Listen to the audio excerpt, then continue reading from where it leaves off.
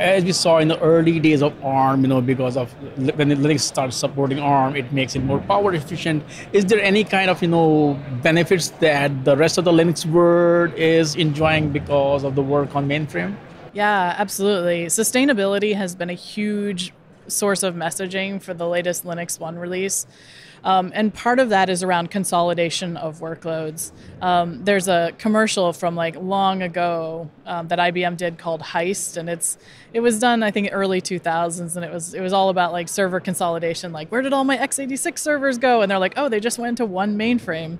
And I, am I'm, I'm pushing. I'm like, I'm like we're like we, sh- we should remake that commercial for today because the story is still true. Because on certain workloads, you can take a lot of those x86 racks and just condense the workloads onto an IBM Z system system or LinuxONE machine.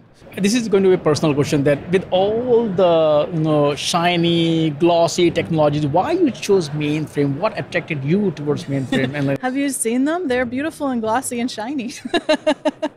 no, I mean I, I, I admit I was a little skeptical when, when I first started talking to IBM about, about coming to work on mainframe. But I think for me, it was um, I, have always been somewhat interested in other architectures. Um, so I mean, I still play around with ARM and RISC-V, and I still have a SPARC system in my home office.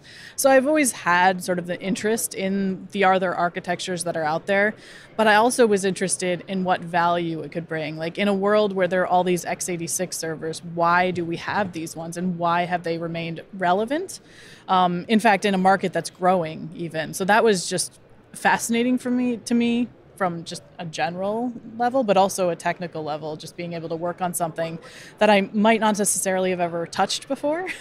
um, so I've learned a tremendous amount. I joined IBM in 2019, um, so it's been five years now, and I've learned a lot, and it's it's been really fascinating technology. And I've also gotten to do some little side quests and geeking out about the hardware. And um, I was at a at one of our t- test facilities in Poughkeepsie, New York, a couple weeks ago, and I got to hold one of the chips in my hand, and I got to hold the giant heat sink that goes on the air cooled ones, and just a general technical curiosity and interest in just seeing what else is out there is what brought me to the technology initially and has kept me there.